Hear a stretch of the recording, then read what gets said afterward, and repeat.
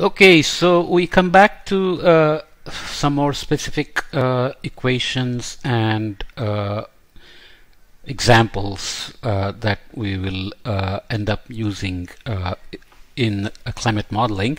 the topic is initial value and boundary value problems. We already kind of did this, but now we're going to do it more specially looking at equations that are well known as initial value and boundary value problems. So we had written this uh, heat equation for the atmosphere.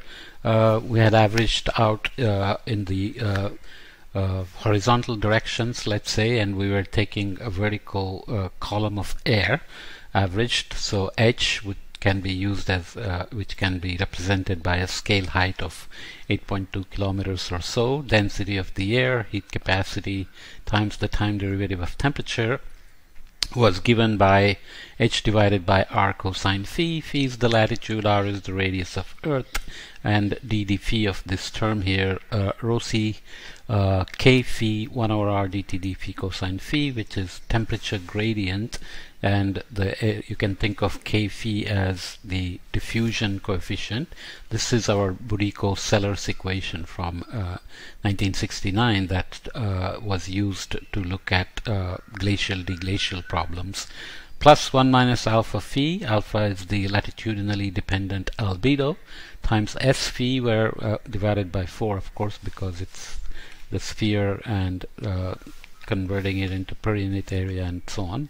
Uh, SV is the latitudinal distribution of incoming solar energy and the emissivity that determines the outgoing long wave radiation and emissivity can also be made a function of uh, latitude here okay so we can write this approximately as t to the fourth uh, as initial value t0 to the fourth plus uh, dt fourth dt uh, at uh, t0 times t minus t0 so we're just doing a um, discretization uh, and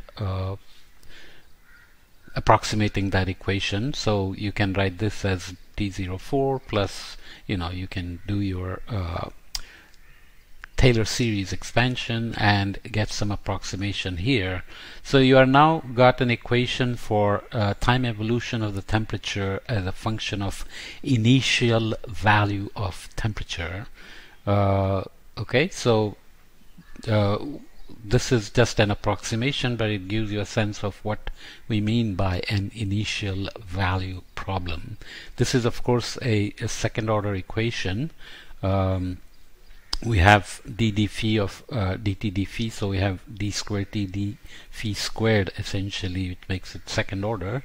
If the eddy diffusivity is constant then the equation becomes dc dt plus k grad squared c plus uh, alpha tilde c equals rho tilde x where this is a constant and we can solve this on some domain. This is a, a function as well of x uh, the spatial coordinate and uh, uh, is uh, a function on the uh, domain omega as well. So the initial value problem then basically becomes uh, constant k as an example, del c dt plus k, k grad squared c plus alpha tilde c equals rho tilde x uh, function of x.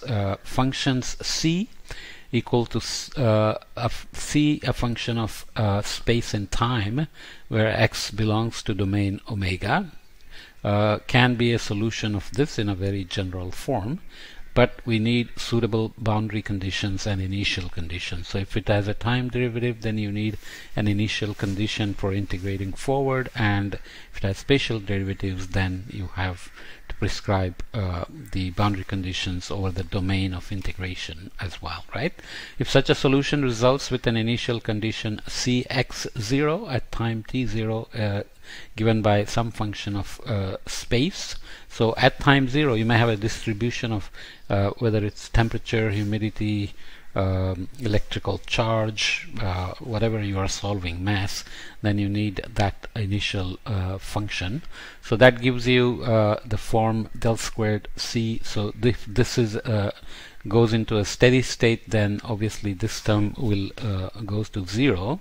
Um, then you can get an equation uh, in steady state where grad squared c plus alpha c equaled rho x bar where we have taken alpha uh, as a you know we took k into alpha tilde and made a new constant alpha. It's just a general representation that we are looking at.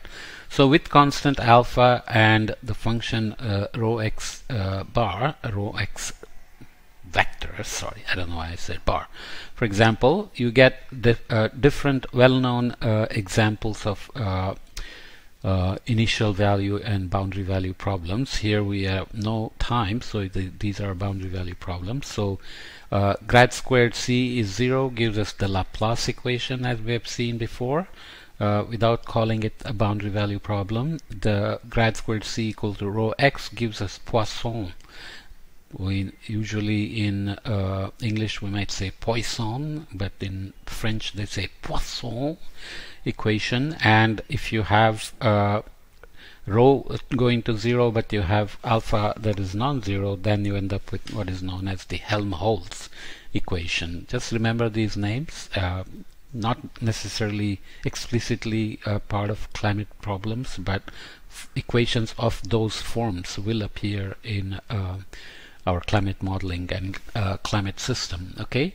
So boundary value problem and then is steady state uh, del grad squared c plus alpha c equal to rho and the solution c uh, as a function of x results with boundary conditions uh, alpha xb uh, times dc xb dn plus beta xb cxb equal to gamma xb where uh, alpha beta and gamma are functions uh, of uh, any uh, point any uh, point on the boundary and these gradients fluxes at the boundary uh, perpendicular to the boundary need to be prescribed when you have a system like this as a boundary value problem.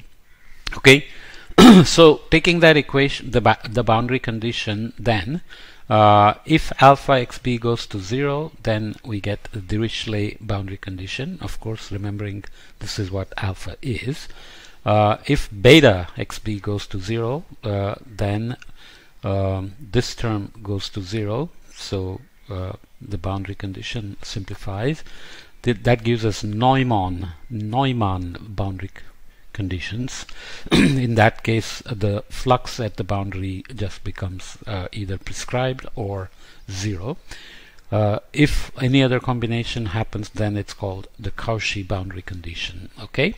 One of the most common boundary value problem is the Poisson equation. So grad squared c is a function of rho. Uh, so that is del squared c del x squared plus del squared c del y squared equal to rho xy. Of course, this is very simple looking. It could be temperature uh, with uh, a distribution in x and y. Uh, could be electrical charge distribution uh, solving for that, uh, or it could be mass source and sink solving for uh, mass distribution in x and y. So that gives us the introduction to the initial and boundary value problem. We'll take the next step in the next podcast. Okay?